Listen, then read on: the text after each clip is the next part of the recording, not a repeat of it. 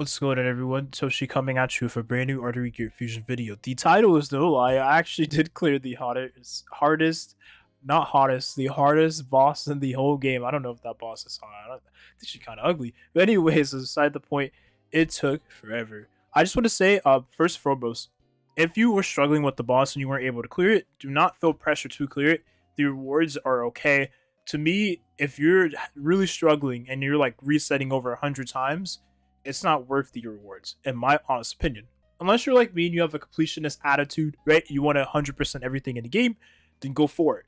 But I'm letting you know that it is one of the most hair pulling, like like like events you'll ever go through. It absolutely drove me to the brick of insanity. I will say one thing though, um, it definitely could have been a lot better, and I learned that later on because I actually did use Tony for my runs which is actually a pretty valuable unit. I will be using Tony more in the future. I love Tony now.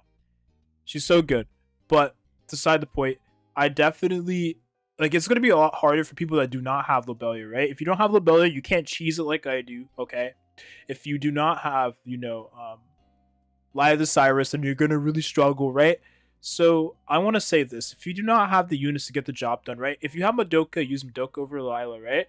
Um, but if you're missing Madoka and Lila, you might as well not even try it. It is that difficult. But with that being said, I hope you all enjoy the run. Oh my god, okay, never mind. She is fucking hot as hell. Anyways, really quickly, before we actually do begin, or I show you guys the run I, I did the personal clear, I will show you like step by step how I did it. So if you want to imitate the team, maybe other characters and you were struggling, I can show you exactly how I did it, and I'll show you the gear I have on the characters afterwards. I thought that'd be very helpful for uh, some of you. So we've landed these stun on all three targets. This is very important because as long as all three of these crystals are stunned, the boss will have a 0% damage reduction. This is a part of the boss's passive in this boss fight, right? So we're going to actually go ahead and S1 here to lower the attack gauge of the boss. We landed nice. Now this is very important. You want Lobelia S2 to hit the targets because this is actually going to increase the duration of their stun by one turn. So they're gonna they're gonna have a two stun two turn stun, right? If it works right? If it lands, they will have a two turn stun, and that's very, very nice. Alright, so it seems like we landed. Did we hit the other crystal? Hopefully we did. Yep, we hit all crystals. So it's very, very good. Alright, so at this point, after you hit all three targets with the stun, and after you've hit all three targets with Lobelia S2, and it landed, right? And you increase their stun duration by one turn, you are good to go. Honestly, you could just you don't have to worry about restarting. You can just go ahead and do your normal combos and stuff like that. What you would normally do in the boss here. I'll show a little bit of the run, but I'm actually going to get into like the end of my run as well in the video. Um, and here I'm going to go ahead and just S2. You can kind of use your skills. Make sure though that you do save some of your skills. Um, like for instance, if you're using Heron, make sure you save your Heron S3, right? Um, this here, because it cleanses the debuffs, all the debuffs. So make sure you hold it if you see that the boss is coming up with this attack here, right? And this right here will like stun all of your characters. You don't want them to be stunned, right? And will um put on the unhealable. You do not want the unhealable on, right? So make sure you save your S3 when you see this skill coming up. It's very important.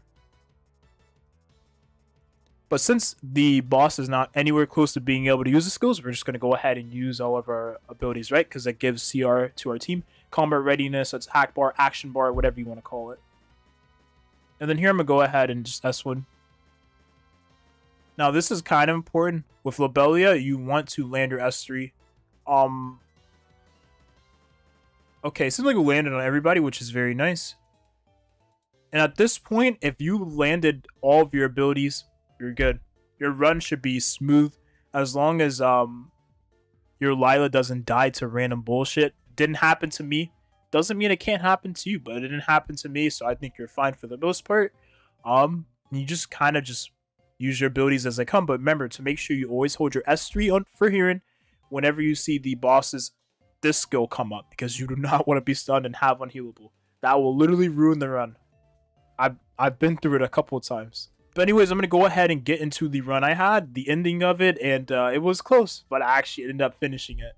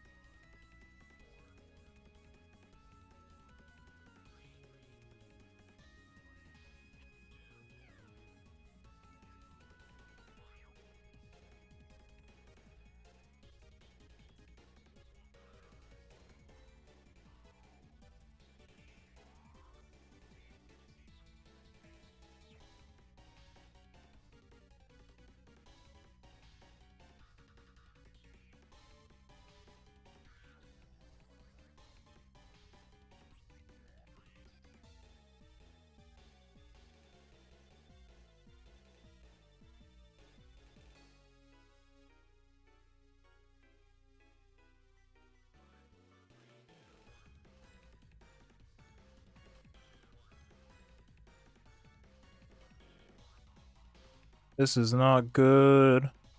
He is so close to. He is so close. He is so close, man.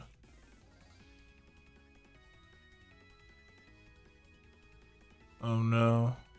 This is not good.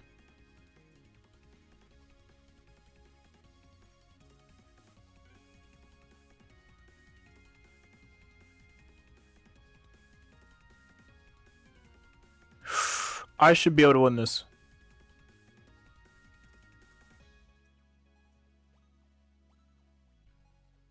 Come on.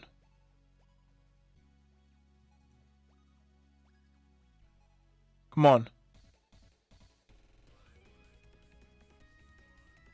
Two percent. Come on.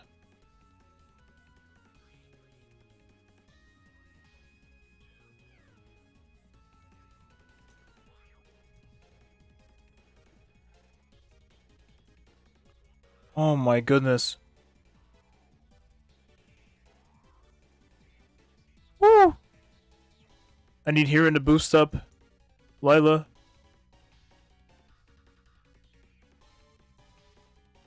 Oh no, we won. oh no. Oh no. Dude, this took so long. Oh.